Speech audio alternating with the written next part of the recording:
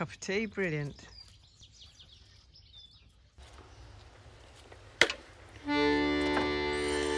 You ceased to mow the lawn ten years ago. You just wanted to see how your garden would grow. You abandoned the pruning shears and welcomed each weed. You permitted the soil to select its own seed. But it would be unfair to assume you don't care for you pay great attention to all that grows there. You just simply abstain from a plan or design.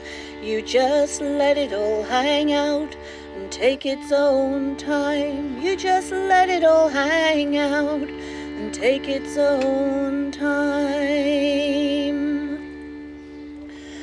And you follow the thread from some book that you've read or something you heard someone say somewhere said.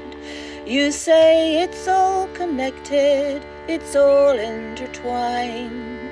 If you let it all hang out and take its own time, if you let it all hang take its own time, if you let it all hang out and take its own time if you let it all hang out and take its own time.